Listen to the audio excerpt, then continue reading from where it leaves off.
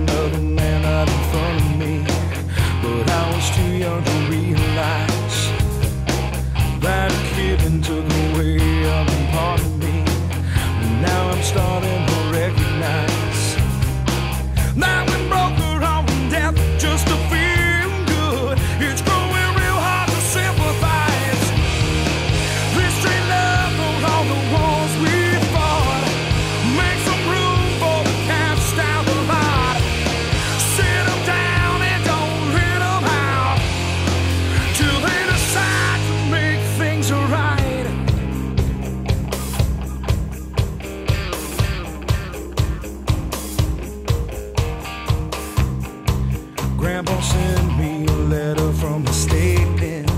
He said, son, don't live like I did. You got your whole highway laid out in front of you. You got no business killing other men. You got no business killing other men. I got no business killing other men.